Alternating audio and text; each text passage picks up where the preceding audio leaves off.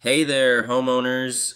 I'm your HVAC repair guy, and today we're diving into a face off between two giants, Rheem and Daikin gas furnaces. It's not just about the name, it's about what really counts inside. First up, let's talk about where these brands come from. Rheem is part of the Paloma Group and makes many of its units in Mexico, while Daikin builds theirs right here in the USA.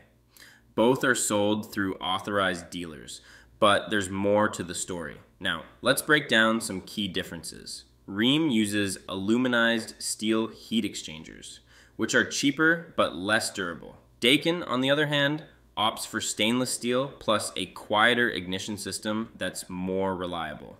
When we look at the basic models, we have the Rheem R95P and the Daikin DM96SN. Both are solid, but Daikin edges ahead with slightly better efficiency and construction materials. In the premium category, we see the Rheem R962V and Daikin DM96VC. Both are two stage, but Daikin offers a longer warranty, giving you more peace of mind.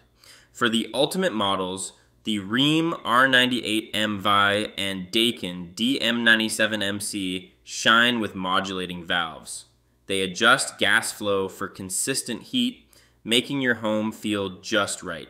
So, what's the final verdict?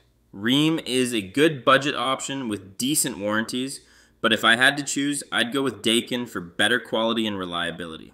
With Daikin, you get superior materials, a quieter ignition, and a solid warranty. Better materials mean a longer lasting furnace, and that's what you want. Got questions? Drop a comment below. Stay warm, and I'll see you next time.